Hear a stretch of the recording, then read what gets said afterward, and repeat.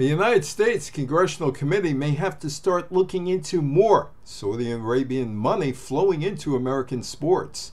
The Saudis have decided that it is not enough to have merged its LIV Golf entity into the Professional Golf Association or take over the ownership of the English Premier League soccer franchise Newcastle United or having a major stake in boxing. The Saudi government wants more. The Saudis are setting up a multi billion dollar company that will invest in sports. And that could mean putting money in the National Basketball Association or Women's National Basketball Association or National Hockey League franchise. Qatar's sovereign wealth fund is willing to buy a roughly 5% stake in the parent company of the NBA's Washington Wizards, the NHL's Washington Capitals, and the WNBA's Washington Mystics as part of a $4.05 billion deal.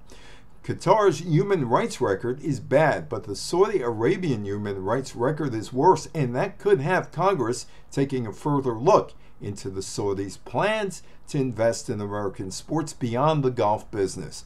Qatar's so called success in the 2022 FIFA World Cup as a host may open the door for Saudi Arabia to back a bid with Egypt and Greece for the 2030 event. Saudi Arabia got a merger with the PGA because of money, although that deal could be struck down as part of a violation of American antitrust laws or other countries where the PGA operates not approving the deal.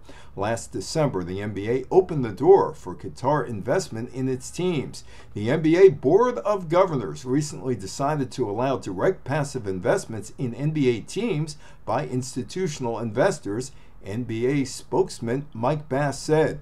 All such investments are subject to the league approval and NBA board approval. None of the passive investors can take controlling ownership stake in a team. Sports is business.